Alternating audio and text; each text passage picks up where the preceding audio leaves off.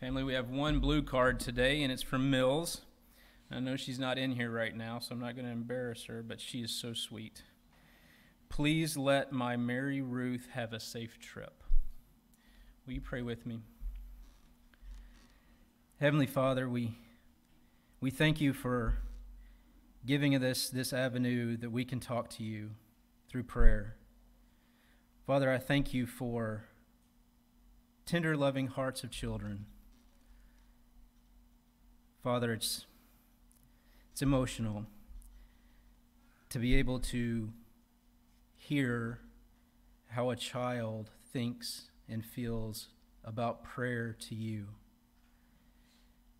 Father, help us to have that same tender, loving heart and emotion when we talk to you.